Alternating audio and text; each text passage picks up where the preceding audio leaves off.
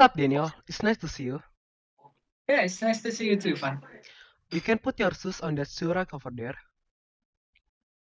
Right? On. Come through the living room and make yourself at home. And can I get you something to drink? Maybe water is okay for me. Is it okay? I only have a cold water. Yep, water is fine. Here we go, your cold water. And some crisps. Thanks, man. You're welcome. Anyway, how was your trip? Uh, yeah, it's very smooth. There's no traffic at all. Yeah. Oh, that's good.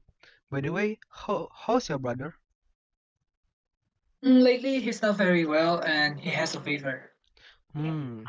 I hope your brother feel better soon. Yeah, thanks. Uh, I hope so.